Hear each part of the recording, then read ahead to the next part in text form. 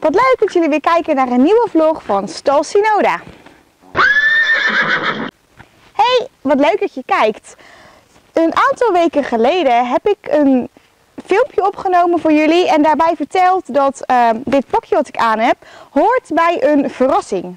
Nou, die verrassing ga ik gewoon vandaag eventjes uh, tegen jullie vertellen. Ik heb een aantal weken achter elkaar stage gelopen bij een circus. Heb ik heel veel ervaring op gedaan. Was ook echt super leuk om te doen.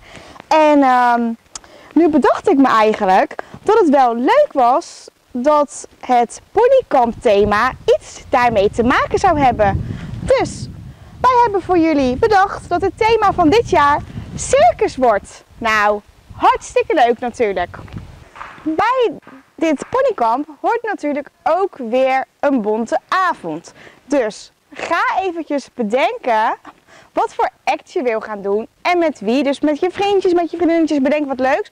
Maar daarbij hoort natuurlijk ook je kleding. Hè? Want je moet natuurlijk ook wel in een circuskostuumpje um, je bonte avond doen. Dus neem een leuk jasje mee, een hoedje, een, een zweepje bijvoorbeeld. Hè? Neem gewoon wat leuks mee en ga bedenken wat je allemaal wilt gaan doen.